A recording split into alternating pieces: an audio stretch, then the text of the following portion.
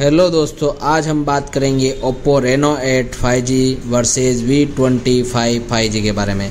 दोनों काफ़ी premium design वाले फ़ोन है वीवो और ओप्पो के, दोनों ज़ोरदार है।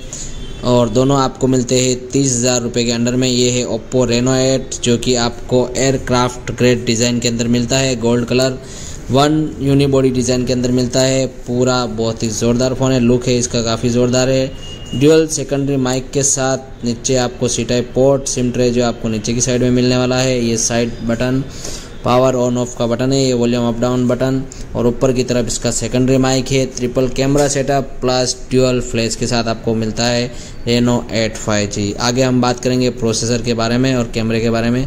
ये है वी ट्वेंटी फाइव जो कि इसके बैक पैनल आपको मिलता है कलर चेंजिंग ग्लास हाँ दोस्तों वीवो के अंदर आपको जो बैक ग्लास मिलता है, वो कलर चेंजिंग मिलता है।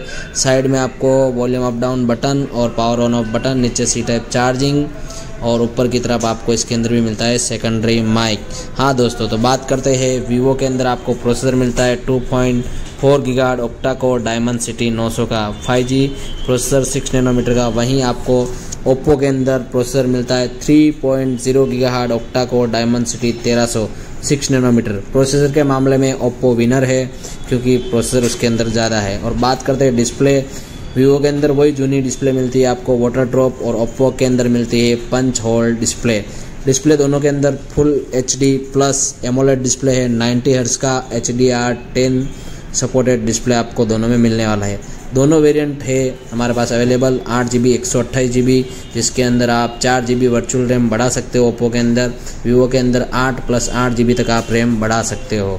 हाँ दोस्तों वीवो के अंदर दो वेरिएंट अवेलेबल है, बत्तीस हज़ार रुपये में आपको बारह जी बी दो सौ छप्पन जी बी और ओप्पो के अंदर एक ही वेरियंट है, तीस हज़ार रुपये में आठ जी बी एक सौ अट्ठाईस जी बी और वीवो वी ट्वेंटी फाइव अट्ठाईस हज़ार रुपये में आठ जी बी एक सौ अट्ठाईस जी बी आपको मिलता है। तो दोस्तों फ्रंट कैमरे की बात करते हैं ओप्पो के अंदर आपको फ्रंट कैमरा बत्तीस मेगापिक्सल मिलने वाला है वहीं वीवो के अंदर आपको 50 मेगापिक्सल एआई ऑटो फोकस वाला कैमरा मिलने वाला है। हाँ तो बैक कैमरे की बात करते हैं। ओप्पो के अंदर आपको बैक कैमरा मिलने वाला है 50 megapixel plus 8 megapixel plus 2 megapixel वहीं वीवो के अंदर 64 megapixel main camera 8 megapixel ultra wide 2 megapixel micro camera दोनों के अंदर एंड्रॉयड वर्जन आपको ट्वेल्व मिलने वाला है। और बात करते हैं ओप्पो के अंदर Android version twelve Color O S मिलने वाला है। वहीं वीवो के अंदर फन टच ओ ट्वेल्व मिलने वाला है। तो दोनों के अंदर बैटरी बैकअप का बात करते हैं, चार हज़ार पाँच सौ बैटरी बैकअप दोनों में मिलता है आपको। और वीवो के अंदर चौवालीस वोल्टेज फास्ट चार्जिंग मिलता है, वहीं ओप्पो रेनो एट के अंदर आपको 80 वोल्टेज का सुपर वोक चार्जिंग मिलता है। तो दोस्तों प्रोसेसर और कैमरे के मामले में आपको रेनो एट काफ़ी ज़ोरदार फ़ोन मिलने वाला है, जिसके अंदर आपको न्यू डिज़ाइन डिस्प्ले मिलती है, वहीं वीवो के अंदर आपको वाटर ड्रॉप डिस्प्ले मिलता है।